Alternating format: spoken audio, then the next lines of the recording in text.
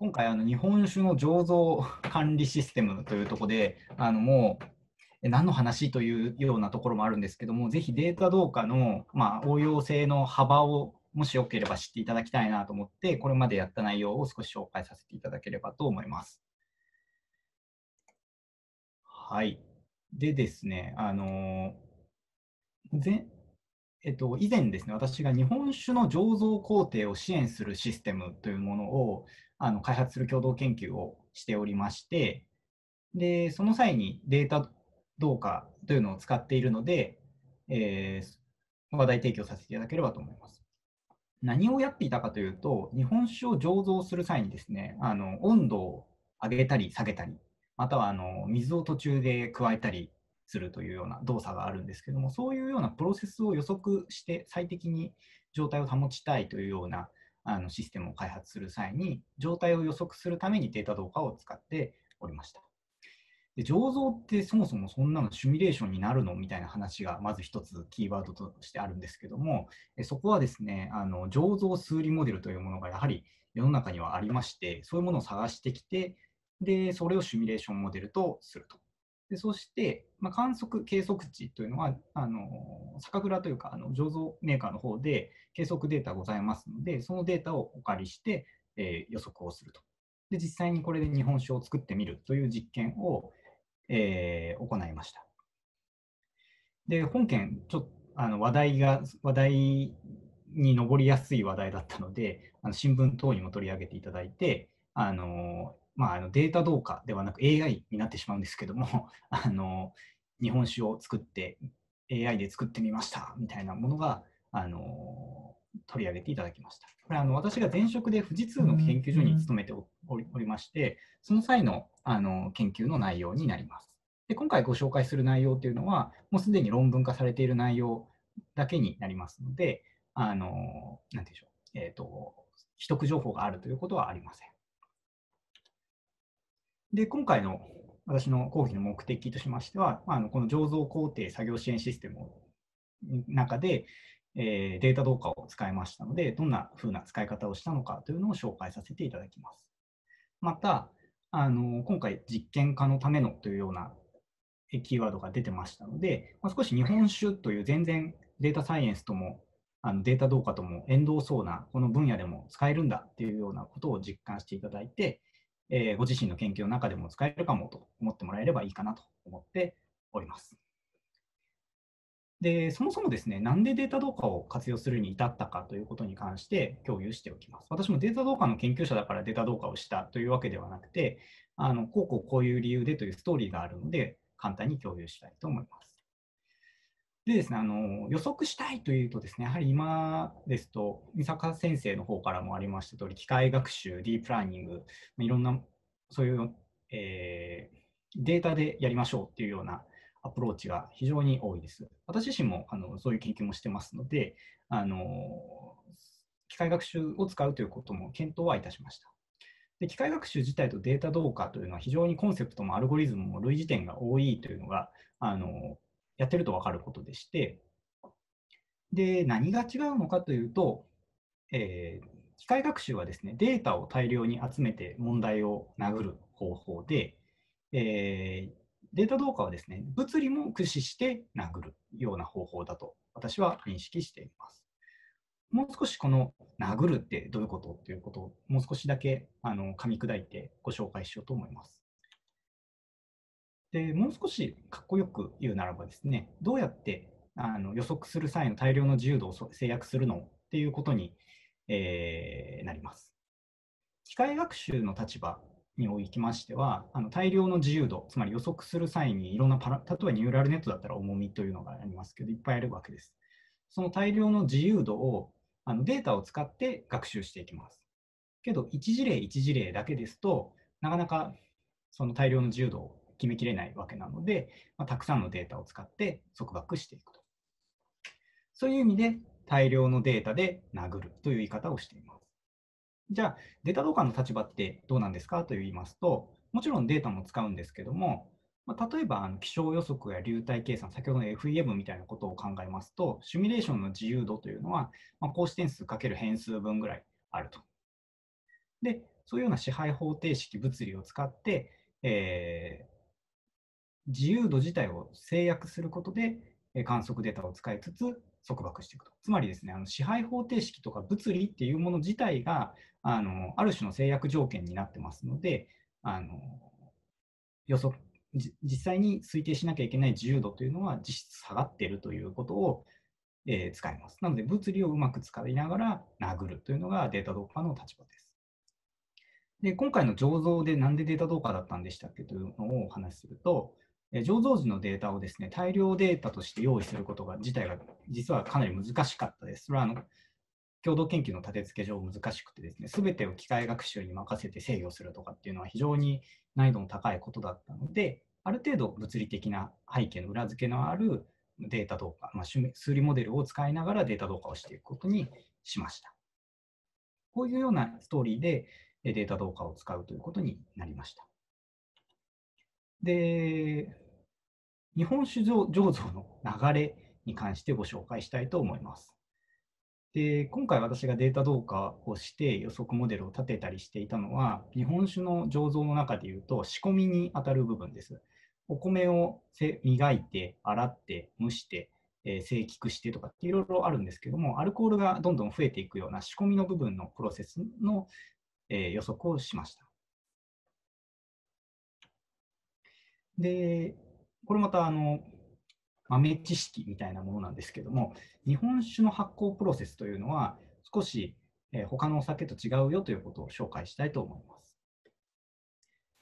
えー、ワインというのはもともとはブドウからできてまして、つまりブドウは甘いわけですね、もともと。なので、その糖分を使ってアルコール発酵させて、まあ、ワインができると、アルコールができてくると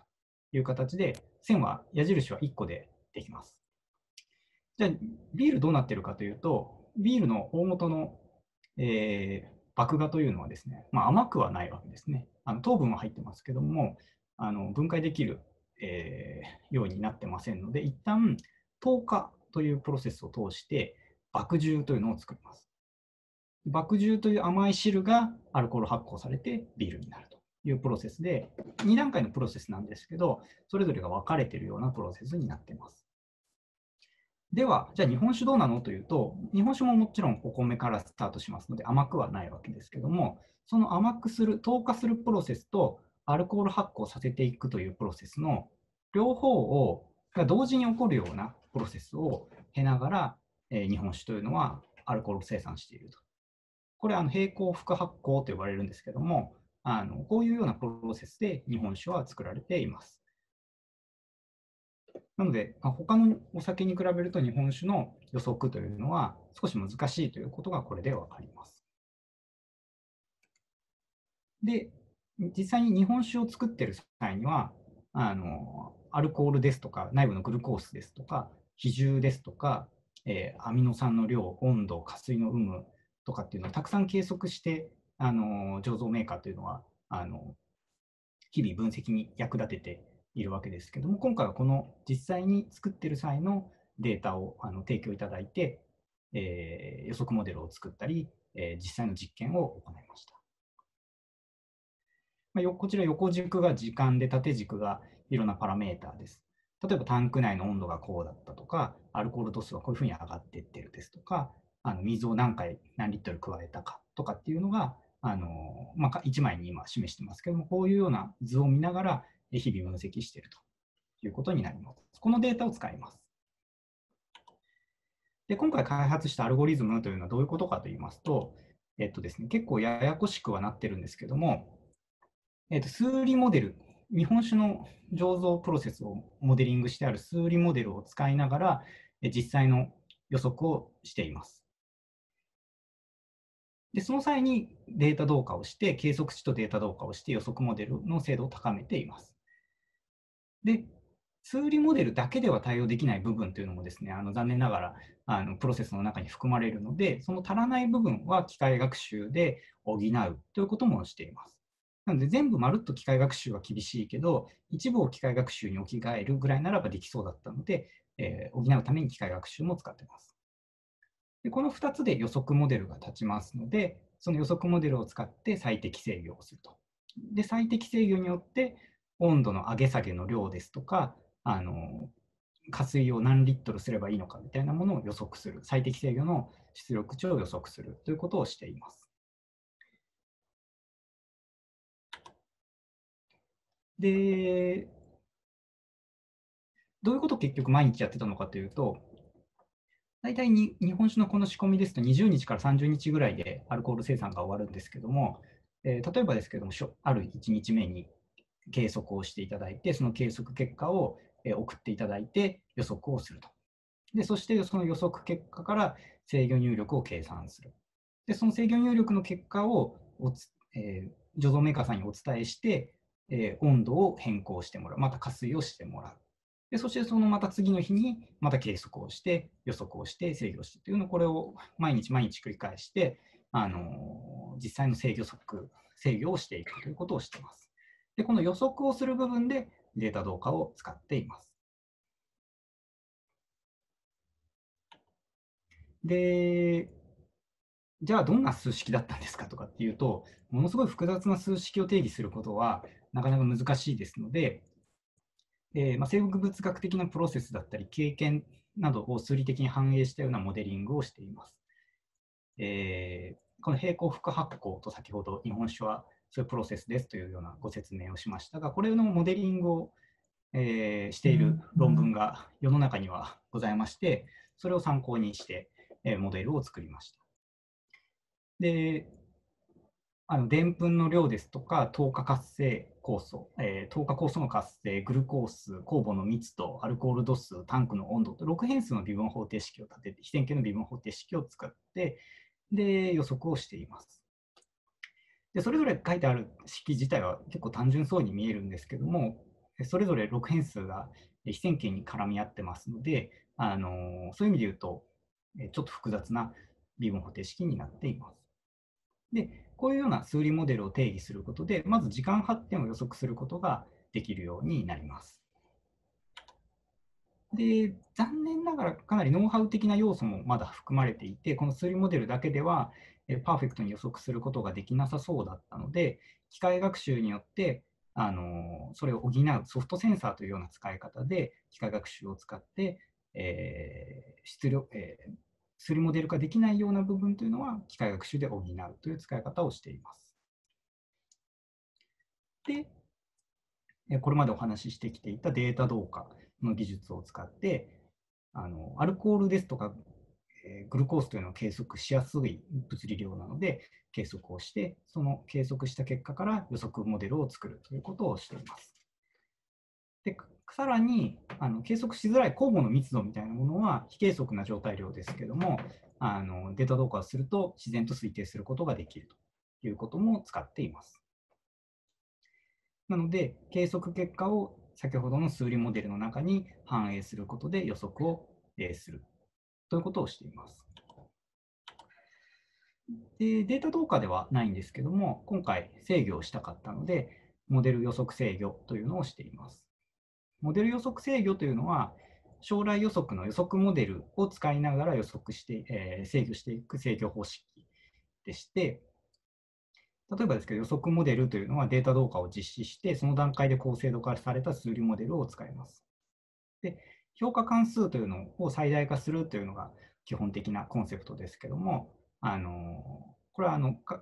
醸造メーカーが普段こういうような形で、えー、制御しようと思っているというようなノウハウみたいな部分をお伺いして、そのノウハウを最大化するように、えー、評価関数を定義しています。で、その評価関数が最大になるように、タンク内の温度ですとか、えー、加水の量というのをあの最適化していく。でそしてその最適化した結果をえメーカーさんにお伝えして、実際に実験していただくということをしました。で、あの実証試験の結果を簡単にですがご紹介しようと思います。で実際にですね、あの1500リットルのタンクを8本ぐらい作りまして、なので1万リットルぐらいはあの日本酒を作ったということをしました。で、いろんな実験があったんですけども、例示としまして、あまずあのアルコール度数ですとかグルコース、日本酒度というのを予測した時の精度ってどんなもんなんですかというのをお示ししています。横軸が醸造の日数、大体30日ぐらいですとお伝えした通りです。で黒い点線の部分まで一旦計測したとして、でそこから予測をするということをしています。で例えば、なので14日目まで計測をしていて、14日目の段階でそこから2週間先予測するというようなケースですけども、まあ、なので、今回のこのお示ししているケースだと十分予測できてるよねみたいなことが分かります。で、アルコール度数、グルコース、日本酒とともに時系列的な予測が適切に行われそうだと。パラメータ推定も適切に行われてそうだということも、ここで確認できます。でその上で、メーカーさんが普段見ているあの、えシートにですね、こういう醸造工程の予測情報も提供することで、あの彼らの普段の醸造判断を支援するということをしました。例えば、あの普段ですと計測データがあるところまでしかもちろんデータはないですけども、まあ、その先1週間こういうふうになりそうなので、えー、対応してくださいというような形で、あの天気予報じゃないですけど、醸造予報を出すということをしてました。こちら AB 曲線というふうにあるんですけども、これがあの彼らが普段持っているノウハウでして、えー、アルコールと日本酒度のバランスをこうこの線に乗せるように醸造したいという目標があるので、その目標を最適化するということが制御入力、えー、制御の目的になっています。でそれで実際制御した場合どうだったかというと、例えばですけども、具体的にあの1週間かけて温度を1度ぐらいずつ下げ、あの 1, 度にさ1度下げていきましょうと。なので、日々0.2度ずつぐらい下げていくと、えー、良い日本酒になりそうですよですとか、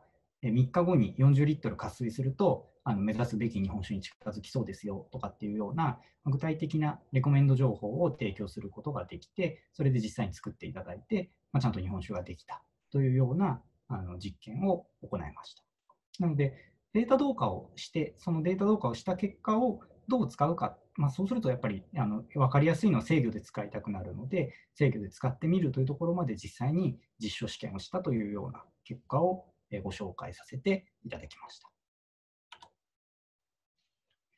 で、あの、醸造工程の作業支援システムの実現を目指しまして、予測システムを開発します。で数理モデルによって、数理モデルとデータ同化によって1週間先ぐらいまでは醸造工程を予測することが可能そうだということを確認したことと、モデル予測制御によって具体的なレコメンド情報を算出することができそうだということを、まあ、本研究ではあの確認することができました。えー今回あの、日本酒というようなキーワードでお話しいたしましたけれども、異分野の皆様と研究するというのはデータ同化の研究者として非常に求めるべきことですので、もし皆様の中でご興味ある方いらっしゃいましたら、ぜひ一緒に何かできたらいいなと思ってますので、えー、この講演の後でも良いので、もしよろしければあのお声かけいただければと思います。はい、以上です。